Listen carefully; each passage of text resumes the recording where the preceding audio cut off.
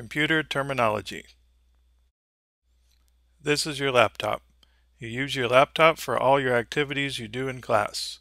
Today we are going to learn how to use your laptop and what some of the features of your laptop are.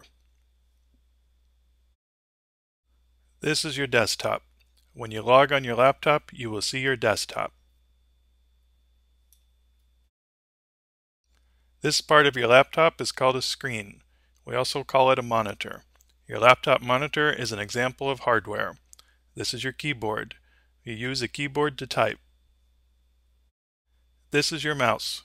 You use a mouse to navigate your laptop. You can also use a trackpad. You can use a trackpad instead of a mouse to navigate your laptop.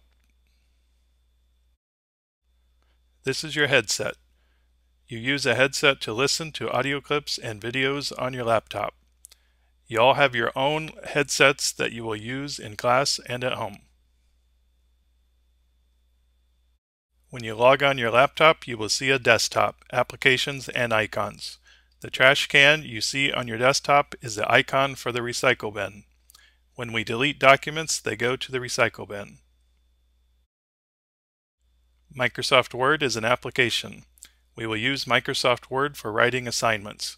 PowerPoint is another application we will be using. Microsoft Word and PowerPoint are types of software.